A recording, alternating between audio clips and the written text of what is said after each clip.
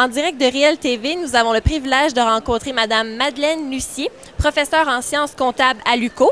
Aujourd'hui, Madame Lucier reçoit le prix d'excellence en administration pédagogique.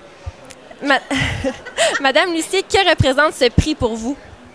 Si moi j'ai pu réussir puis obtenir cet hommage, c'est parce que mes étudiants ont réussi. Alors au fur et à mesure, je, les accompagnais, euh, ils ont réussi dans, au niveau de leur bac, ils ont réussi par la suite au niveau des ordres comptables. Leur réussite, c'est ma, ma réussite, leur réussite, c'est ma fierté, autant que ce prix. Vous prenez votre retraite sous peu. Comment allez-vous maintenir vos liens avec l'UCO? Euh, effectivement, je prends ma retraite en janvier. Je pars vers le sud, je ferai un snowbird. Euh, je vais maintenir mes liens. Je, vais revenir, je le sais. Peut-être peut-être pour une charge de cours. Euh, je sais que je vais maintenir mes liens avec les CA de l'Outaouais. Donc, nos diplômés passent par là. non, je serai ici. On ne peut pas se débarrasser de moi en me donnant un prix.